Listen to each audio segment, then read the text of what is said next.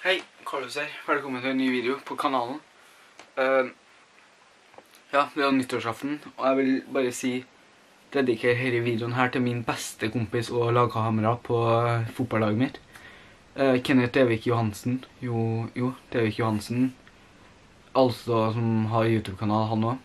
Han har en kanal som heter The King Underman. Han sender direkte akkurat nå på YouTube. Gå inn på inn på YouTube, søk The King Underman.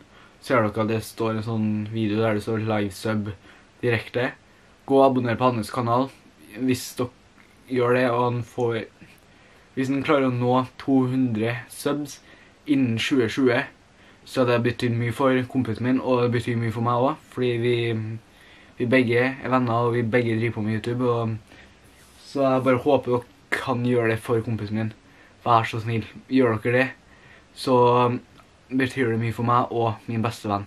Vær så snill, gjør det, ok? Jeg kommer til å legge det ned i, legge det ned i videoen, så skal jeg få sånn. Eller, jeg kan jo vise dere hvordan dere kan få tak i videoen hans, kanalen da. Da. Der. King Enderman. Kun fire abonnenter unna The King Underman er kun fire abonnenter unna 200. Vær så snill, hjelp den, ok? Takk.